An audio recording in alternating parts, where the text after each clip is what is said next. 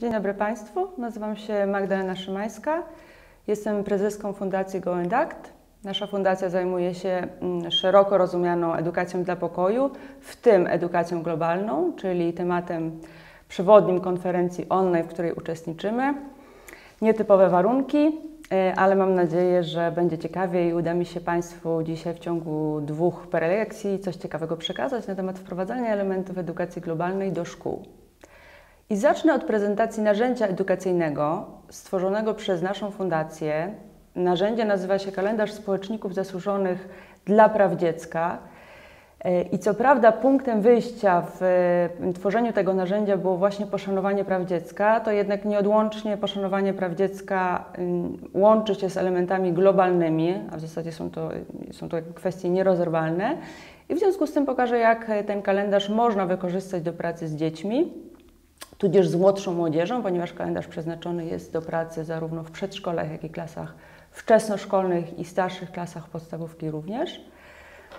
I mm, tę narrację prezentowania kalendarza jako narzędzia edukacyjnego będę trochę też mm, przeplatać taką narracją mm, od kuchni, powiedzmy, jak kalendarz był tworzony, czy jakie trudności w ogóle napotkaliśmy w tworzeniu kalendarza, bo wiem, że też y, część słuchaczy dzisiejszej konferencji to są też edukatorzy, edukatorki, czy trenerzy, trenerki edukacji globalnej, czy innych działów edukacji dla Y, dla pokoju, więc mam nadzieję, że takie uwagi również będą dla Państwa y, ciekawe i przydatne. Dla porządku jeszcze powiem, że y, kalendarz powstał w ramach projektu, projektu o tytule Obchody 30-lecia powstania Konwencji o prawach dziecka. Ten projekt był realizowany przez naszą fundację w zeszłym roku, a finansowany był z grantu gminy Wrocław. W tle będziecie Państwo widzieć sylwetki różnych osób występujących w kalendarzu, e, bo tak jak mówiłam, to jest też narzędzie e, tak naprawdę inspiracyjne czy inspirujące dla osób zajmujących się prawami dziecka czy edukacją globalną. Tu na przykład macie Państwo e, bardzo znaną nauczycielkę Hanan Al-Horub, która w 2016 roku zdobyła Międzynarodową Nagrodę dla Nauczycieli. To jest nauczycielka palestyńska, która pracuje w obozach w Palestynie i stara się wprowadzać tam elementy nawet nie elementy, może inaczej stara się wprowadzać politykę zero przemocową, czyli e, we say no to violence, mówimy nie przemocy. Pracuje zarówno z dziećmi, uczy jak się szanować nawzajem, e, jak uniknąć przemocy rówieśniczej. Pracuje również z nauczycielami, z kadrami pedagogicznymi, z rodzicami. Bardzo znana, ceniona, lubiana, również e, jest oratorką, więc można posłuchać jej wystąpień geneza powstania kalendarza, ponieważ kalendarz przed e, kalendarzem społeczników zasłużonych dla praw dziecka stworzyliśmy już bardzo podobne, wręcz bliźniaczą, e, stworzyliśmy podobną bliźniaczą publikację, mianowicie kalendarz osób zasłużonych dla praw człowieka. E, macie tutaj Państwo adres internetowy dostępu do tej publikacji. Ona jest na naszym Facebooku i na naszej stronie internetowej do samodzielnego ściągnięcia. I ten kalendarz pierwotnie e, również zakładaliśmy, że on będzie użyteczny, mm, przyda się nauczycielom, nauczycielkom w pracy z uczniami. To było przeznaczone do pracy z uczniami troszkę starszymi, takimi licealistami, studentami nawet. Natomiast okazało się, że pisało do nas bardzo wiele osób, które co prawda nie są edukatorami, w, jakby w żadnym kontekście, ale ogólnie zajmują się aktywizmem na rzecz praw człowieka. Ten kalendarz przydał się im nie jako narzędzie do przekazywania wiedzy dalej, tylko tak naprawdę ich inspirował, ich motywował. W momencie wypalenia mogli sobie do niego zajrzeć, zobaczyć, jak ludzie na całym świecie mierzyli się e, z problemami walki o prawa człowieka. I nas to zainspirowało do zrobienia podobnych kalendarzy właśnie w troszeczkę e, innych obszarach. No tutaj akurat obszar jest bardzo bliski, to były prawa człowieka, a kalendarz, o którym mówię, to są e, prawa dziecka. E, dlatego też e, zdecydowałam się w tej prezentacji mówić od razu o różnych postaciach, bo żeby wykorzystać ten aspekt kalendarza jako czegoś, co może nas inspirować, czy e, w momentach zwątpienia, w momentach takiej bezsilności, jakby dać nam energię do pracy, którą na co dzień wykonujemy. Na zdjęciu z kolei w zasadzie portret, jest to nie zdjęcie Zurier Oduvole, młoda, młoda reżyserka, która w wieku kilkunastu lat zaczęła kręcić filmy dokumentalne o Afryce subsaharyjskiej. Zaczęła spotykać się z prezydentami, prezydentkami krajów, w których zmiany społeczne czy polityczne, w których wprowadzane były zmiany społeczne i polityczne, które można uznać za modelowe, ponieważ Zuriel Odwole walczy z, z takim stereotypem, z postrzeganiem Afryki subsaharyjskiej jako takiego regionu bardzo biernego, byle jakiego, e, zacofanego, gdzie nic się nie dzieje, a ona pokazuje bardzo dobre praktyki, również została nagrodzona e, wielokrotnie za użycie narzędzia, jakim jest film, właśnie do promowania, do zwalczania stereotypów, do promowania otwartości, tolerancji i do takiego prawdziwego budowania regionu świata, który chyba naj, najbardziej, najczęściej cierpi na, na bycie stereotypizowanym. Kalendarz e, wydany jest w formie dwustronnych plansz. E, jak Państwo widzicie, z jednej strony mamy portret wybranej postaci. Mm, wybraliśmy jedną postać dla każdego tygodnia roku, stąd też e, jakby formuła kalendarza. E, z drugiej strony mamy krótką biografię danej e, osoby oraz e, propozycje zadań dla dzieci, młodzieży, dla opiekunów, a w zasadzie są to propozycje zadań do wspólnego wykonania przez dzieci, ich opiekunów czy nauczycieli. Można wykorzystać też w bibliotekach. Teraz jest świetna okazja, bo nagranie to robimy w połowie kwietnia, żeby wykorzystać w domach ten kalendarz i porobić sobie te zadania wspólnie z dziećmi Y, wspólnie z dziećmi w domach, a gdy już przerobimy powiedzmy ten kalendarz jako książkę, można planszę powiesić jako wystawę. Bardzo dobry materiał dydaktyczny na przykład do wystroju klasy przedszkolnej lub klasy wczesnoszkolnej. Tu z kolei przykłady dwóch postaci z zupełnie innych części świata, zupełnie działających w innych obszarach. Cash Valdez to y, Filipińczyk, dziecko, które w wieku 4 lat miało zostać sprzedane przez rodziców, do transakcji nie doszło. W związku z frustracją rodziców zaczęli go bardzo źle traktować. Każdy się mierzył z ogromną dawką przemocy domowej. W wieku chyba około 10 lat udało mu się w końcu uciec, został się pod opiekę międzynarodowej organizacji pomagającej dzieciom i wtedy zaczął wieść bezpieczne życie i zaczął pomagać z kolei innym dzieciom ulicy, bo on przez jakiś czas też po ucieczce z domu zmagał się z bezdomnością, był typowym dzieckiem E, ulicy, zresztą wtedy uległ wypadkowi, został poparzony i jakby chcąc spłacić dług, czyli to, że udało mu się przy pomocy innych ludzi z tej trudnej sytuacji wyjść, zaczął pomagać innym dzieciom, zaczął tworzyć pudełka z podstawowymi artykułami higienicznymi, z zabawkami, z jakimś jedzeniem o długotrwałym e, terminie ważności, zaczął rozdawać takie pudełka dzieciom potrzebującym. Zresztą działa do tej pory. Jest laureatem Międzynarodowej Nagrody Pokojowej dla Dzieci. I Stefania Wilczyńska, myślę, że wszystkim Państwu doskonale znana. Pomimo, iż y, pozostawała zawsze w cieniu swojego współpracownika Janusza Korczaka, który oczywiście również jest y, w tym kalendarzu. Mm, no, my też dostawaliśmy się y, w kalendarzu zarówno te postacie bardzo dobrze znane uwzględniać, ale też właśnie te, które albo działały gdzieś w cieniu, albo, albo w ogóle są mniej znane. Stefania Wilczyńska, oczywiście współzałożycielka i współprowadząca Dom dla Sierot E, doktora Korczaka. Jeśli chodzi o odbiorców e, kalendarza, to jak wspomniałam, są to dzieci mm, już w wieku przedszkolnym. W zasadzie część treści i część zadań nadaje się już dla dzieci od 3 lat. Przez e, wiek wczesnoszkolny i powiedzmy dla młodszych nastolatków również to się nadaje. Natomiast zdecydowanie kalendarz jest publikacją, którą należy czytać razem z dorosłymi. Dlaczego? Dlatego, że w kalendarzu przedstawiliśmy bardzo wiele trudnych tematów i nie jest to formuła książki, gdzie mogliśmy te tematy ująć w jakieś długie historyjki przystosowane do percepcji dzieci, czy do rozwoju emocjonalnego, społecznego, kognitywnego dzieci. Dlatego zdecydowaliśmy się na następującą formułę kalendarza. Z tyłu na planszy zawsze jest biografia danej osoby i bardzo prosimy, tak jest zresztą we wstępie do kalendarza, w, e, gdzie dajemy propozycje, bo nie, nie powiem, że to jest instrukcja, ale propozycje pracy z kalendarzem, e, prosimy, żeby biografię przeczytała osoba dorosła. Te biografie są bardzo trudne, mm, więc tutaj język tej biografii jest dosyć prosty osoba dorosła, nauczyciel, nauczycielka, mama, tata, babcia, dziadek, potem opowiadają o danej postaci własnymi słowami dziecku, dopasowując mm, zarówno przekaz, czyli fakty z, wybrane fakty z życia tej osoby, jak i język po prostu do dziecka, z którym pracują. Natomiast gdy przechodzimy już do części zadaniowej, czyli tej drugiej części mm, z rewersu planszy, to już są zadania, które można czytać wspólnie. Tam już jest e, język dostosowany, jest to robione z uważnością e, na dziecko i wspólnie można te zadania e, realizować.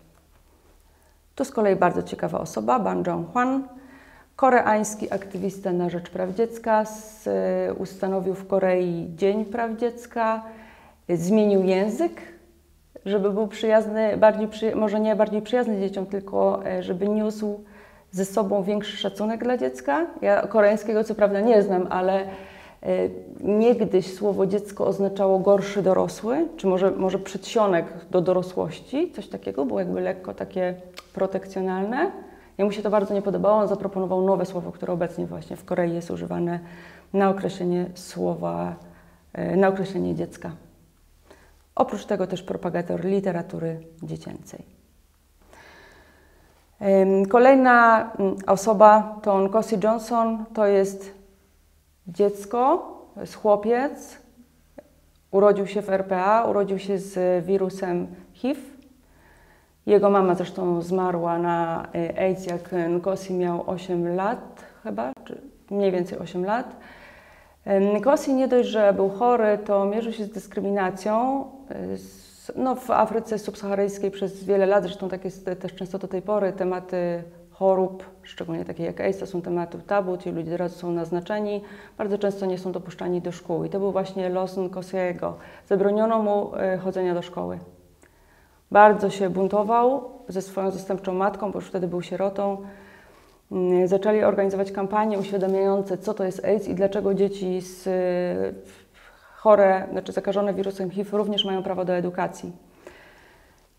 I udało mi się to. Przekonał rodziców, przekonał nauczycieli, przekonał y, lokalne społeczeństwo, że on i dzieci, które dzielą jego los, także y, powinny chodzić do szkoły. Zresztą stał się później międzynarodowym mówcą, bo też bardzo pięknie y, potrafił się wysławiać, w związku z tym zdobył ogromną sławę i niestety w wieku 12 lat jednak choroba go e, zebrała, ale jest takim symbolem walki o edukację dzieci. Tak jak e, Malala e, jest znana w tym temacie, tak samo Nkosi Johnson. Zresztą on był pierwszym laureatem Międzynarodowej Nagrody Pokojowej dla Dzieci. Jeśli chodzi o postacie prezentowane w tym kalendarzu, i tu już właśnie zdradzę tą naszą pracę od kuchni nad, nad tym kalendarzem, to zależało nam, żeby to były osoby reprezentujące Mm, bardzo różne grupy społeczne, bardzo różne grupy geograficzne, bardzo różne grupy religijne, bardzo różne e, grupy ze względu na pochodzenie etniczne. Więc mamy reprezentantów wszystkich regionów świata, mamy reprezentantów e, wszystkich religii, mamy reprezentantów różnych grup wiekowych, bo w kalendarzu znajdują się zarówno dzieci, które same próbowały wywalczyć prawa dla siebie i dla swoich rówieśników, jak i E, osoby dorosłe. Drugo, drugim wyzwaniem, też mam nadzieję udało nam się e, jemu sprostać, było zróżnicowanie tematów. Punktem wejścia do pracy nad kalendarzem była oczywiście Konwencja o prawach dziecka. Staraliśmy się, żeby wybrane postacie dopasować do wszystkich najważniejszych praw wymienionych w Konwencji o prawach dziecka. I też liczę na to, że, mm, że nam się to udało, choć było to y, trudne, gdy dołożymy sobie do tego trzecie ograniczenie kalendarzowe, a mianowicie daty. Musieliśmy dopasować do każdego tygodnia daną osobę albo ze względu na jej datę urodzenia, albo ze względu na jakieś święto, które w danym tygodniu y, roku przypada. Także mozaika z wieloma, mm, że tak powiem, ograniczeniami czy wyzwaniami E, ale myślę, że bardzo udana i tutaj na slajdzie właśnie cztery osoby, jakby każda z, z troszeczkę innej sfery. Mamy Irenę Sendlerową, bardzo w Polsce e, oczywiście znaną bohaterkę problem tu Holokaustu, ratowania dzieci, ale też przy okazji postaci Ireny Sendlerowej odnieśliśmy się na przykład do prawa dziecka do tożsamości, bo Irena Sendlerowa oprócz tego, że ratowała dzieci, to jeszcze starała się zachować ich tożsamość, żeby po E, po tym strasznym e, kryzysie wojny mogły dojść do tego, kim są. E, mamy Rim al-Numery, to jest jemeńska mm, dziewczynka, która została zmuszona do małżeństwa w wieku 12 lat. To jest przykład zresztą osoby o tragicznej biografii, to o czym mówiłam. Poruszamy bardzo trudne problemy i prosimy opiekunów, rodziców, nauczycieli, żeby próbowali odpowiednio dopasować treść tego problemu do, mm, do sytuacji danego dziecka, dlatego że RIM była mm, zmuszana do skonsumowania małżeństwa, zresztą z chyba 30-letnim kuzynem, zarówno przez niego, jak i przez swojego ojca, była po prostu wiązana i gwałcona. Potem walczyła bardzo długo z tą traumą, dwukrotnie próbowała popełnić samobójstwo. Na szczęście udało jej się wyjść z kryzysu psychicznego i została e, później aktywistką na rzecz zarówno zwalczania przemocy wobec kobiet, jak i sprzeciwiała się małżeństwom, sprzeciwiała dalej się sprzeciwia małżeństwom dzieci. E, Kim Wicks e, z kolei reprezentuje region Afryki Subsaharyjskiej, to jest działacz, obecnie już polityk liberyjski, mm, bardzo wiele zasług na rzecz praw dziecka. Jedną z głównych, najtrudniejszych być może, jest mm, walka z wcielaniem dzieci do sił zbrojnych Szacuje się, że około 20 tysięcy dzieci żołnierzy uratował. Mm, zresztą został, musiał uciekać się do azylu politycznego w Stanach Zjednoczonych, ponieważ przeprowadził śledztwo, które udowodniło, że rząd liberyjski prowadzi szkolenia armii, do której, do których to szkoleń wciela właśnie nieletnich. Mm, I ostatnia z osób tutaj pokazująca nam zróżnicowanie dzisiejszego kalendarza to Mayra Wejar Neves, to jest z kolei Brazylijka, dziewczynka mieszkająca w faweli. Fawele to są bardzo biedne dzielnice w Brazylii. Ona akurat mieszka w takiej dzielnicy w Rio de Janeiro. E, no, jak e, biedne dzielnice, to oczywiście również przemoc. W fawelach zresztą królują mafie i ona zaczęła organizować w tych fawelach i naokoło faweli później, bo wyszła ze swoją inicjatywą jakby szerzej, e, marsze przeciwko przemocy, marsze przeciwko panowaniu mafii e, w fawelach. I tutaj przykład z kolei trzech postaci, które stricte można wykorzystać do edukacji, do wprowadzania elementów edukacji globalnej w szkołach, bo tak jak Państwo widzicie, tak naprawdę w tym kalendarzu mm, obejmujemy może szerzej niż nawet prawa dziecka edukację globalną, obejmujemy całą edukację dla pokoju. Edukacja dla pokoju to jest bardzo szeroki wachlarz działań edukacyjnych, bo to jest edukacja globalna, antyprzemocowa, antydyskryminacyjna, wielokulturowa, ekologiczna nawet. I wszystkich tych elementów y, edukacji tu dotykamy i we wszystkich, jeśli chcecie wprowadzać y, Państwo elementy każdej z tego rodzaju edukacji w szkołach, to możecie sięgnąć do kalendarza. Natomiast tutaj wybrałam trzy postacie, które mm, są typowe, jakby dotykają tego y, kręgosłupa mm, edukacji globalnej, czyli współzależności między ludźmi na świecie. Taka postać sztandarowa to Iqbal Masih, też, e, też tragiczna biografia. To jest chłopiec, który e, z kolei został zmuszony do pracy w fabryce dywanów e, w Pakistanie. W wieku 4 lat zaczął spłacać dług rodziny, czyli nie poszedł jakby nawet do pracy, chociaż to trudno nazwać pracą, to jest oczywiście współczesne niewolnictwo, tylko musiał zacząć pracować w fabryce dywanów, dlatego że jego rodzina miała długi. Mm, Uciekł, został odprowadzony przez policję z powrotem do tej fabryki dywanów, uciekł po raz kolejny, wtedy dostał się e, pod opiekę organizacji pomagającej dzieciom i e, podobnie jak było w przypadku mm, Kesha, można powiedzieć, e, też wtedy zaczął działać, jakby lobbować przeciwko, mm, przeciwko wykorzystywaniu dzieci do pracy.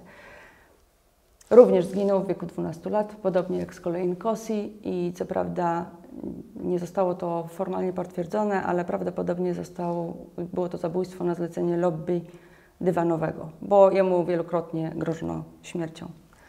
Kenneth i Mami Clark to małżeństwo, które z kolei zajmowało się dyskryminacją. To jest taki temat e, bardzo silny w edukacji globalnej. Można by powiedzieć, że nie można uprawiać edukacji globalnej bez odwoływania się do stereotypów. I mamy Gretę Thunberg, która zajmuje się, jak zapewne Państwo doskonale wiecie, problemem klimatu, który obecnie w edukacji globalnej wysuwa się na czoło, ponieważ y, kwestia, kwestia klimatu to nie tylko kwestia ekologii, ale to jest też kwestia bardzo, bardzo silnie wpływająca na prawa człowieka, bo to jest y, kwestia tego, że ludzie przestają mieć dostęp do zasobów, że mm, nawiedzają ich regiony, w których mieszkają katastrofy klimatyczne i mamy bardzo nasilające się zjawisko uchodźstwa klimatycznego w związku z tym. Dużo więcej postaci znajdziecie Państwo w naszym kalendarzu, 52 postacie. Mm, Tak jak mówiłam, kalendarz jest do ściągnięcia z naszej strony, natomiast zapraszam Państwa do kontaktu, jeśli y, chcecie Państwo e, albo porozmawiać o tym kalendarzu, albo być może go rozszerzyć, ponieważ y, planujemy, już jesteśmy w trakcie mm, dołączania kolejnej, kolejnych postaci do kalendarza, więc mam nadzieję, że może rozrośnie nam się to do narzędzia jeden na jeden, czyli jeden dzień, jedna osoba. E, Bardzo bym sobie i Państwu tego życzyła, także e, jako fundacja jesteśmy bardzo otwarci. Tutaj jest e, mój adres internetowy. Bardzo dziękuję za uwagę. Bardzo zachęcam do korzystania z kalendarza, także do wysyłania Państwa uwag, które macie jako edukatorzy czy nauczyciele w pracy z tym narzędziem i do współpracy z nami przy tworzeniu tego czy kolejnych narzędzi, które mogą pomóc i w edukacji globalnej, i szerzej w edukacji dla pokoju. Dziękuję bardzo.